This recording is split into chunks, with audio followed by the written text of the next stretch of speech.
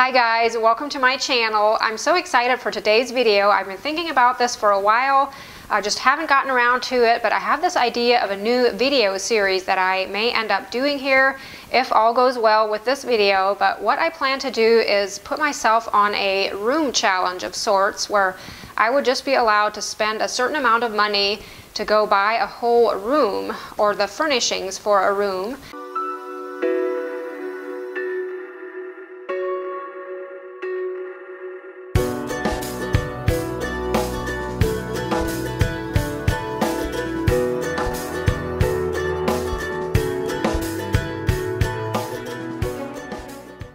In this video, I'm planning on shopping for a dining room and I'm allowing myself a budget of $200 to do this.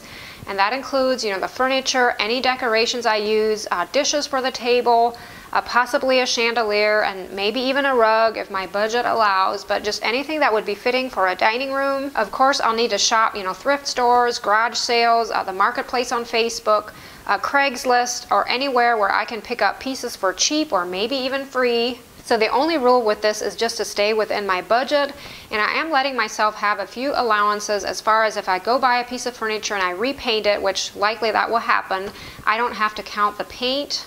Often I just have paint around here anyway from other projects that I can use and even if I go buy new paint uh, that will be available for other projects too then so I kind of thought about it and I decided to not count that and then also if I go out in my shop and I, you know, make a little something to add to maybe the decorations or uh, to reinforce a piece of furniture or anything like that, I don't need to count that. And the other thing that I decided to not do was to put myself on a time limit. I think that would be kind of fun, but for me, I know I'll enjoy it more if I'm not on a time limit. Uh, so this video may well span over the course of several weeks, you know, as I find these bargains but I'll make sure to get video footage of everything. So join me in this challenge and enjoy. For my dining room table and chairs, I had two things that I kind of wanted to look for. I knew it would just be a happen if I'd actually find them, but I really like to see a planked top for a table, even if it was just fake, you know, lines cut across the top to make it look like separate boards. And then for the chairs, I really would have loved to have some that were padded,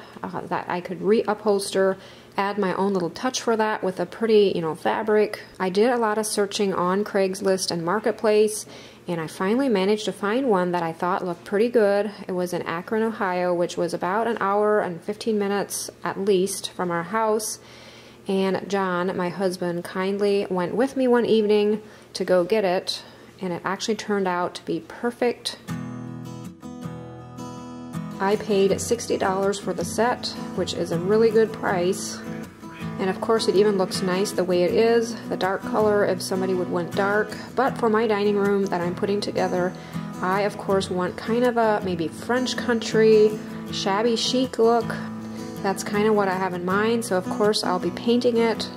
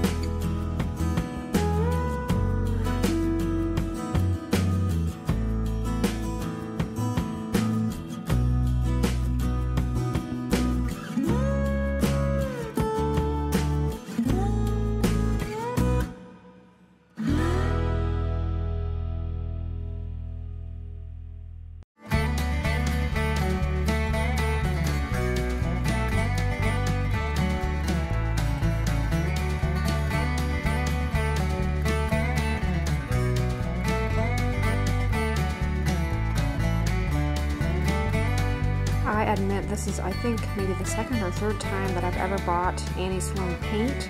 I use the wax a lot. You guys have seen that in my videos. But I admit I often just go to my Do It Best brand paint. And then of course often during the summertime or spring and summer months I spray paint outside. So of course I don't want to use, you know, chalk paint to run through my sprayer. So I will just buy the Do It Best brand paint. I you know, love that paint, but being I was going to paint in my kitchen today, I thought I'm going to try Annie Sloan paint again. I haven't done it in a while, and I really am loving it. I know it's really pricey, that's often the reason I don't buy it, but I do remember it does go a long way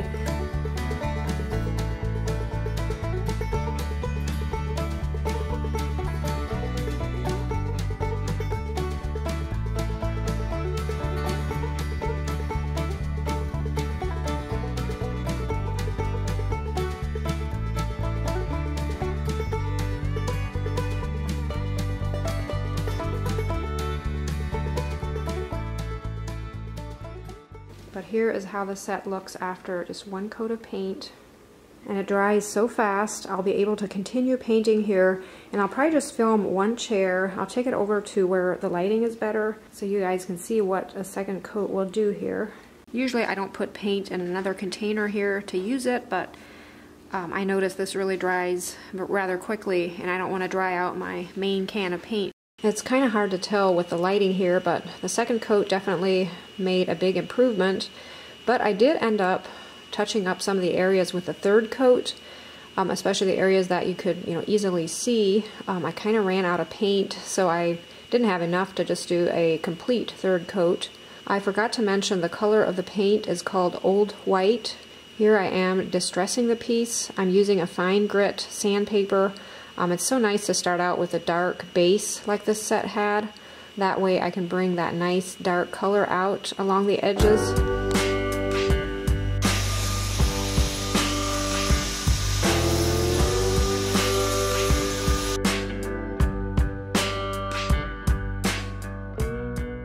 I'm sanding the surface here not to bring out any, you know, dark color necessarily, but just to get it nice and smooth. Uh, chalk paint is so um, dull or matte and it just helps so much to just quickly run a piece of sandpaper over it before applying the wax.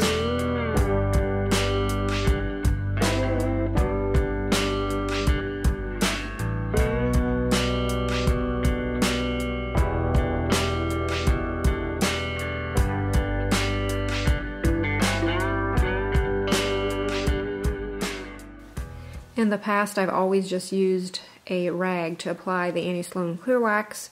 And when I was in the store the other day to get the paint, I saw these brushes there, and I've heard people say that these are just so much nicer to apply the wax with.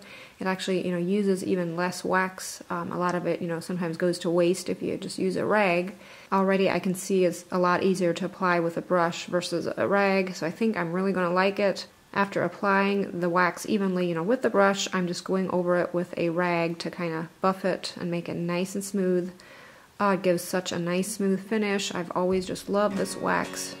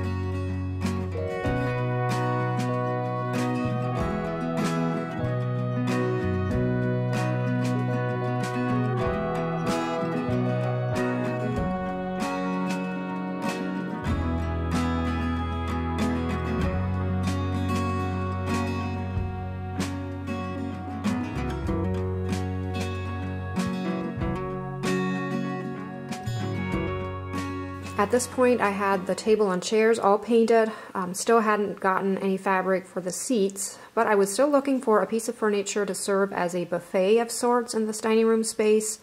And often for a buffet I like to use maybe a dresser, a sideboard or a washstand, just something to serve as a place to hold, you know, some dishes. One day I was in the Apple Creek area and I decided to stop in the thrift store while I'm there anyway. And lo and behold, I stumbled upon the most beautiful piece of furniture. It was perfect. I knew I wouldn't even have to do hardly anything with it. Um, I love the color and it had the chippy paint. Some of you may have seen this on Instagram. I had showed a picture of it a few days after I bought it and you would not believe what I paid for it. I could not believe it. It was marked $15.95 and I of course snatched it up right away. Um, the drawers slid open easily. Often old pieces like this have you know drawers that are stuck. Uh, that wasn't the case. The only thing I did with the piece was clean it up and apply a wax over the surface just to protect it from chipping any more. But check out the beautiful green color. I really hope it shows up on the video here. Um, it's probably one of my favorite colors. So vintage looking. It even had glass knobs, although some of them were broken off. I ended up buying new ones from Amazon.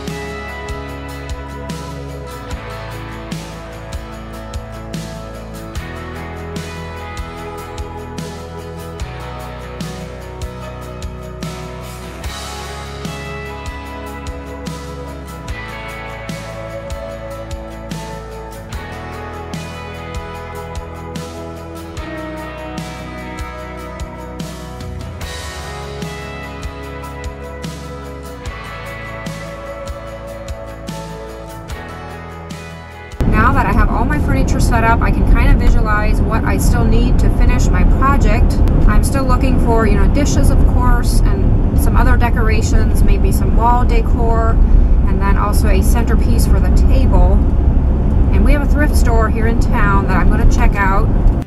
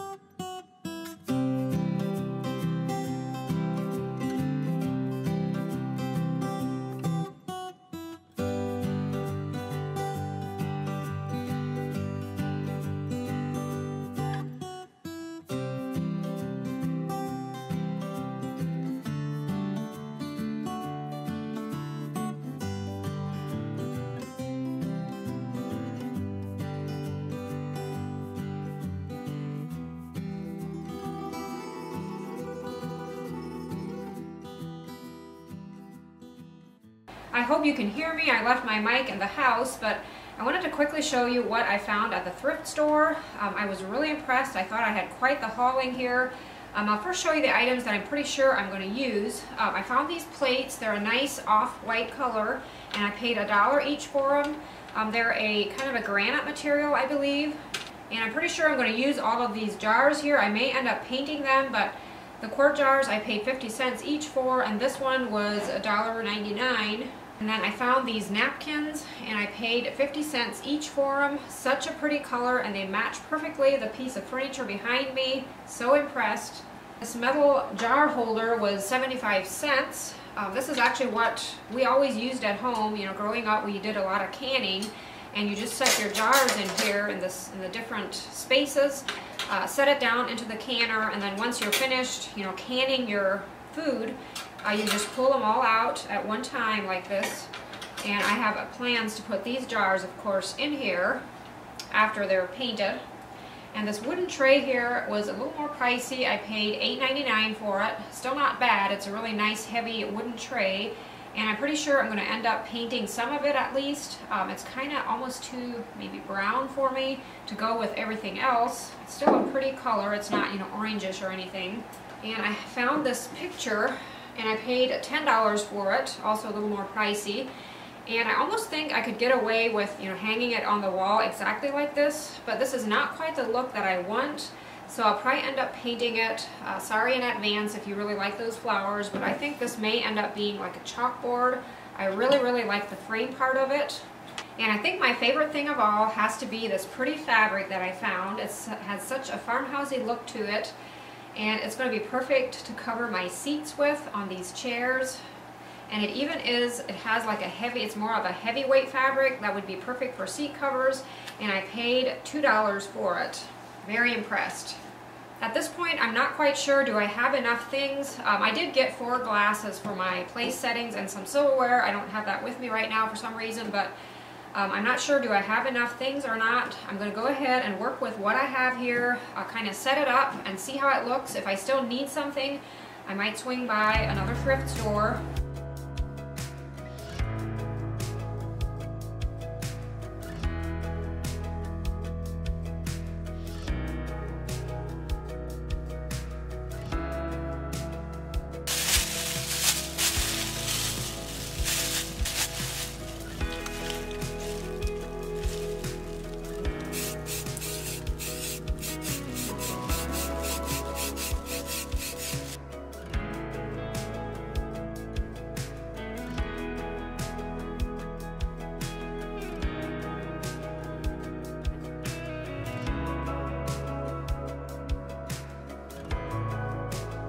I plan to make a chalkboard out of this frame and as I was removing the glass I broke it.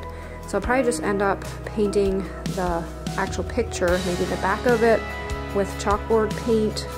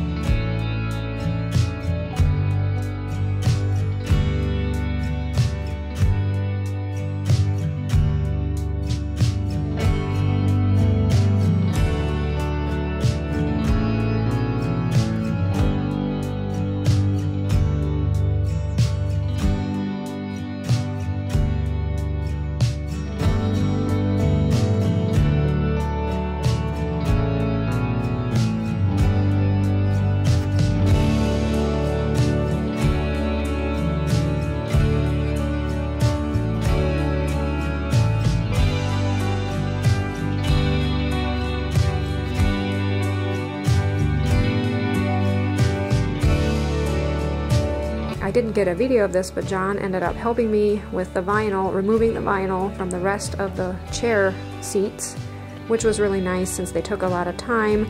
I was then able to put the new fabric on while he was, you know, removing the old vinyl.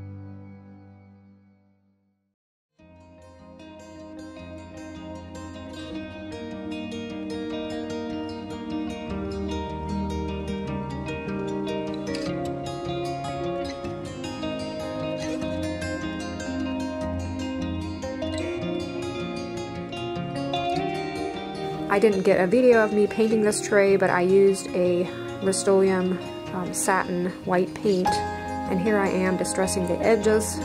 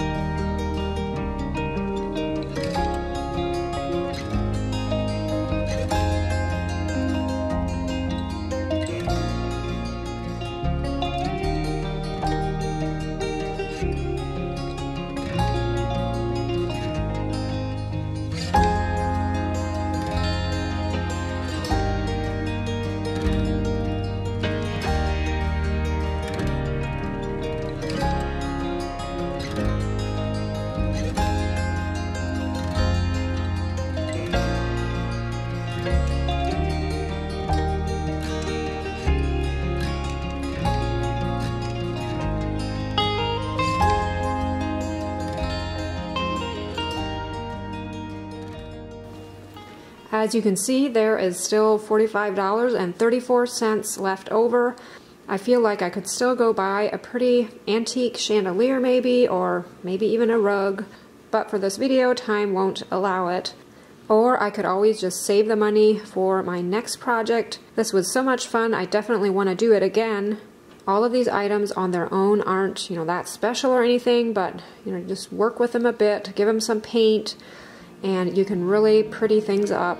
Or that's always my motto with paint, anything is possible.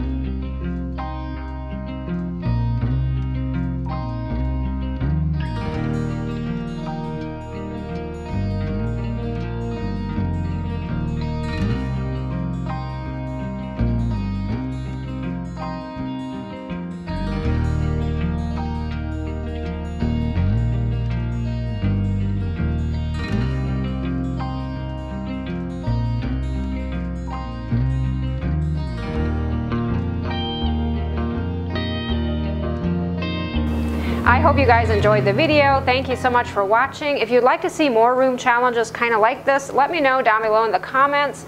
I really had a lot of fun doing it. Um, if I were to do it differently, I'd probably allow myself a little more time to do it. I feel like I didn't quite get everything done the way I wanted to. I would have loved to add a rug and maybe a chandelier, but I really wanted to post this video today and I saw I would run out of time, so I just made do with what I had. Hopefully you guys were able to tell you really don't need to spend a lot of money to make something pretty. Thanks again for watching and I look forward to seeing you in the next video. Bye!